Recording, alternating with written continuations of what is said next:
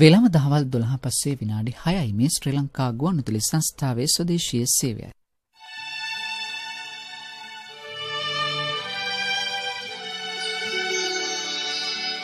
ආවර්ජනා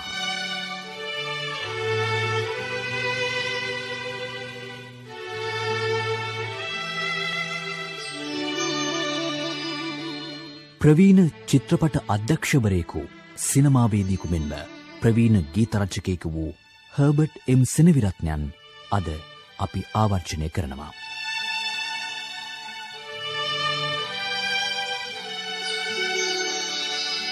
එදදාස් නම්සේ විසි පහේ ජුලි විසි පස්විනිදා ගාල්ලේ කහවදී උපතලද කප්පිනදගේ හර්බට් මැන්දිස් සෙනවිරත්නයන් එදදාස් නම්සය අසු හතේ ජූනි හත්පිනිදා එනම් අදවැනි දිනක දැයින් සමුගත්තා.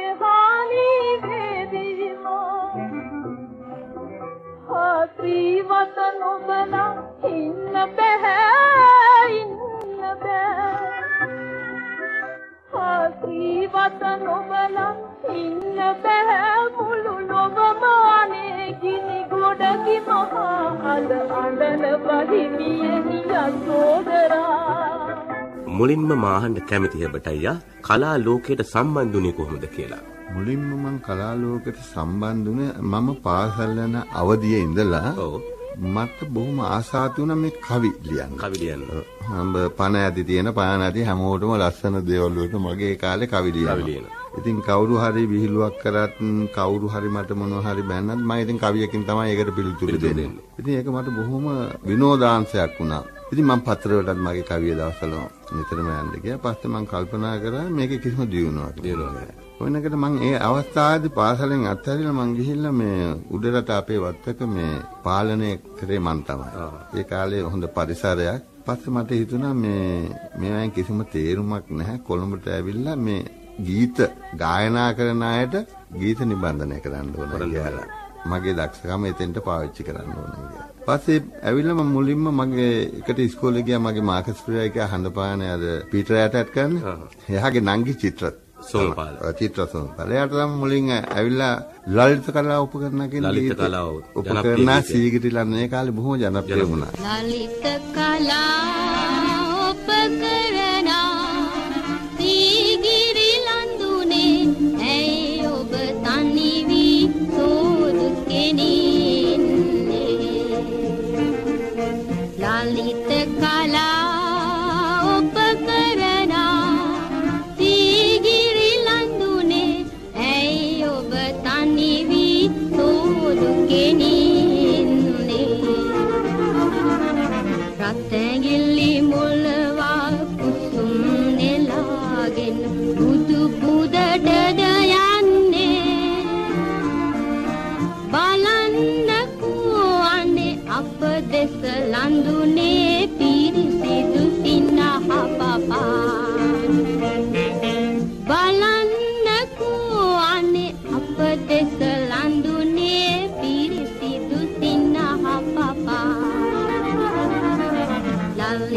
ලලිත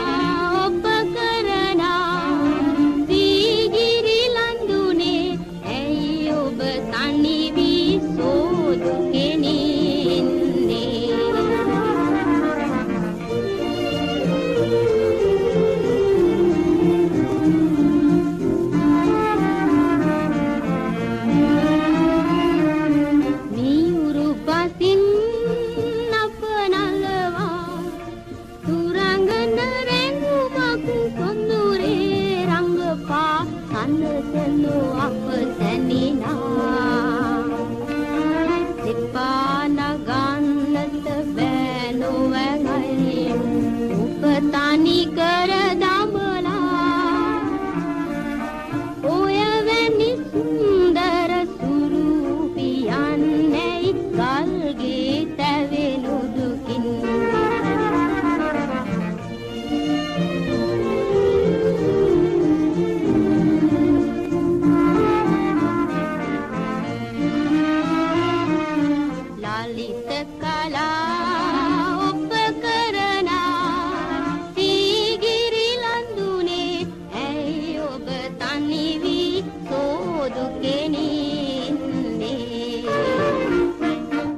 පස්සේ හුඟ දෙනෙකුට මං වුමුණා මුණා මට කියලා ගීත හරි ගත්තා ගීත ගන්න. ලියව ගන්න. ඇත්තටම කියනවා නම් මාසෙකට ප්‍රෝග්‍රෑම් 16කට මේ විවිධ ප්‍රසංගයේ කාලේ කියන්නේ ඔව්. රේඩියෝ එකේ 16කට 17කට සින්දු මං හරි ගස්සන්නේ. ඉතින් ඒ වගේ මං හුඟක් ජනප්‍රියත්වයට ආවා. ওই අතරෙදී මම ඇඩ් කරා දස්කොන් කියලා ප්ලේ එකක් තිබුණා. වේදිකා නාට්‍ය බොහොම ලස්සනට වියදම් කරලා කරපු. ඊට පස්සේ මම ඒ රංගපාන අතර ඇඩි ජයමාන මං සොයාගෙන ආවා ඒගොල්ලෝගේ චිත්‍රපටයට කියන්නේ උමතු විශ්වාසයට ගීත නිබන්ධනය කරන්න. පුළුවන්ද කියලා. ඉතින් මං කිව්වා මං පුළුවන් කියලා පස්සේ මං කරගෙන ගියා මේගාමුවට.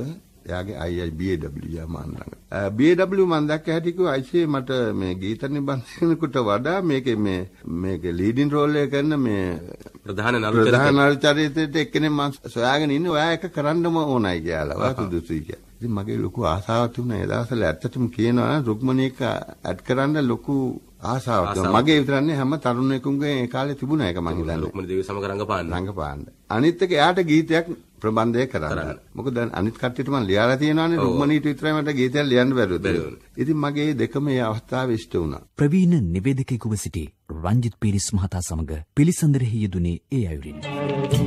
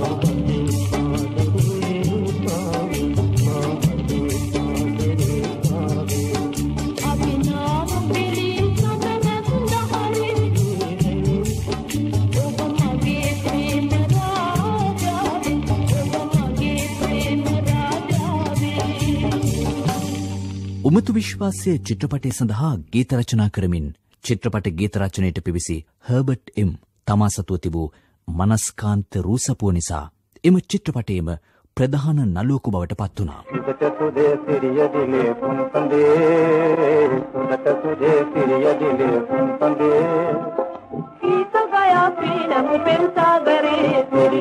पुन पंदे सुदत तुझे सिरिय दिले पुन पंदे गीत गया पीनम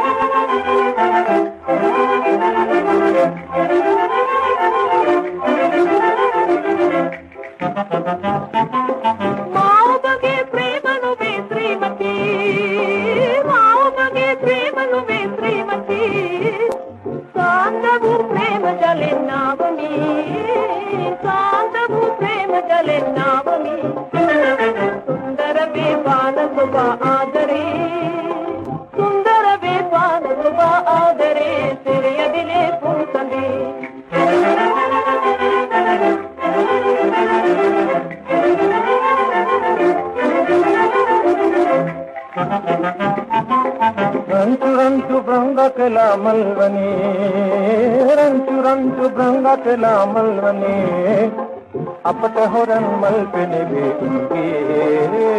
अपर मले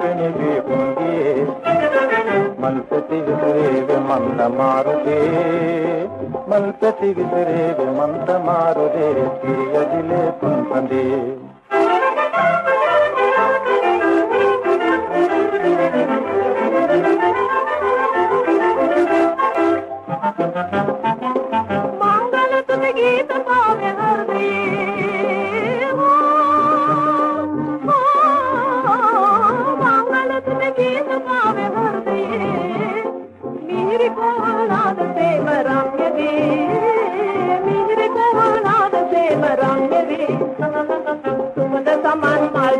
ರಾತ್ರಿಯೇ ಸುಮದ ಸಮಾನ್ ಮಾಲ್ತಿ ಬಿಜನ ರಾತ್ರಿಯೇ ಸಿರಿಯ ದಿಲೆ ಕೂಸಂದಿ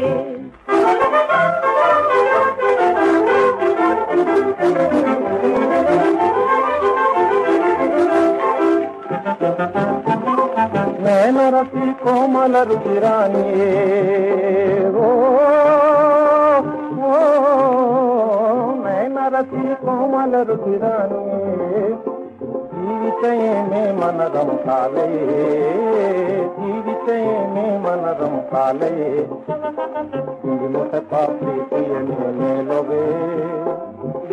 तापरी तुंहिंजे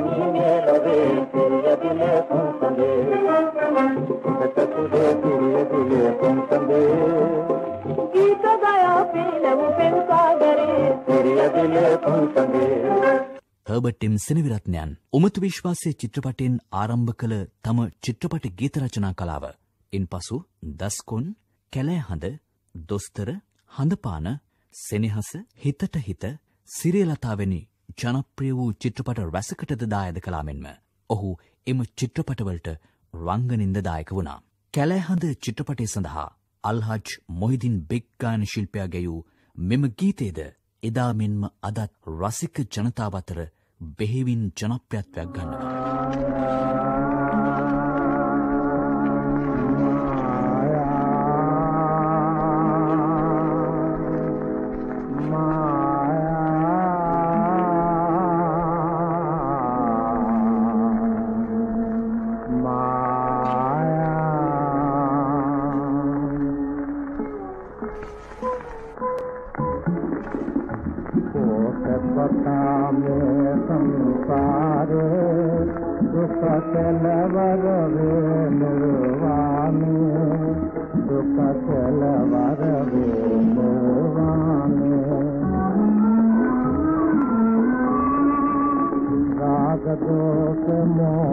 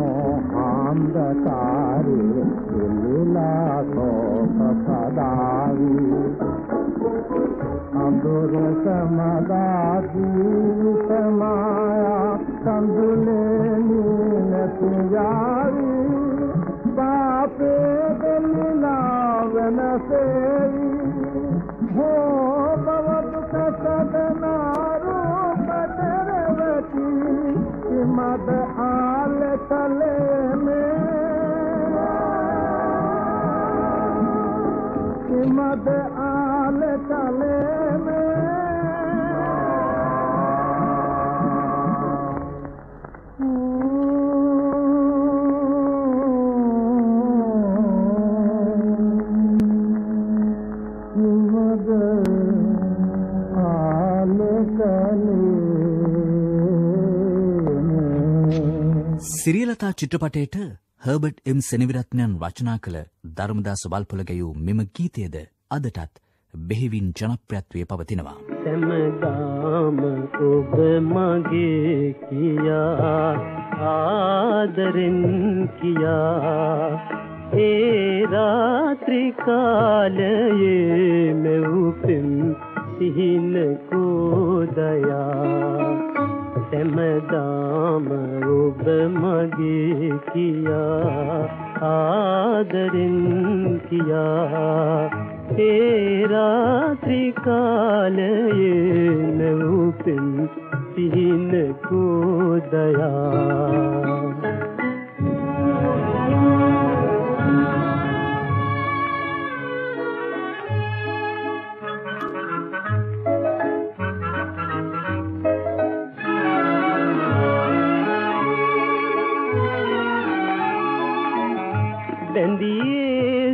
බැඳියේ සුරම් ආලය අද දේවි වේදනා.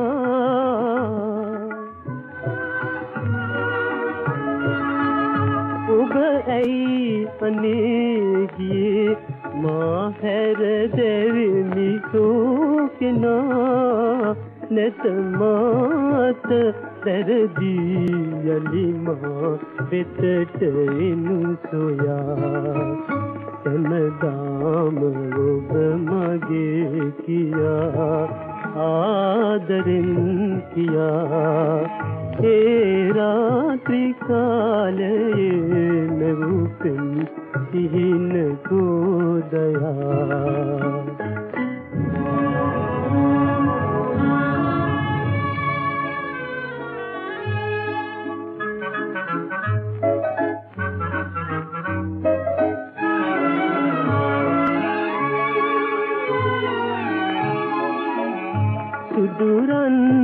කඳේ කියා යලි අමතන්නේ කාටදෝ?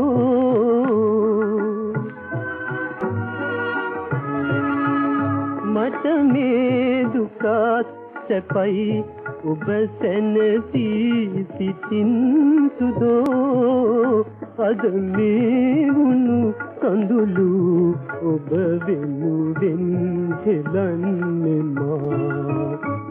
සැමදාම ඔබ මගේ කියා ආදරෙන් කියා ඒ රාත්‍රිකාලයේ නැවුපෙන් සිහින කෝදයා සැමදාම ඔබ මගේ එදස් නම්සය පණහා හැට දශකවල තරුණ තරුණයන්ගේ හදවත් සනසාලෝ එවන් ගීත රැසක් හෙළ සිනමාවට මෙන්ම කලාලොවට දායාද කළ ප්‍රවීණ ගීපද රචක හර්බට් එම් සෙනවිරත්නයන් ඒ සුන්දර කලාකරුවානන් එදහස් නම්සයාසූ හතේ ජූනි හත්වෙනිදා එනම් අදවැනි දිනක මෙලොවින් සදහටම සමුගත්තා. වර්තමානයේදීද. එදා මෙන්ම මෙම ගීත තරුණ හදවත්වල නිම්නාද වනවා. සුභාවිත ගීතය මෙයයි අපට පසක්කරදුන් තවත් ගීපද රජකයකුයි අද අප ආවර්ජනය කළේ.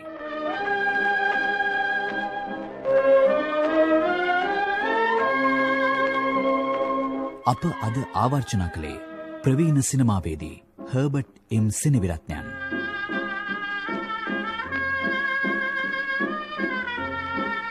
සංස්කරණය සහ නිෂ්පාදන සහය ටියවලින් ජයනාත කතනය හිමානන්ද රාජපක්ෂ සංගීතංශය වෙනුවෙන් ආවර්චනා නිෂ්පාදනය කළේ සුනිල් අමරසිංහ.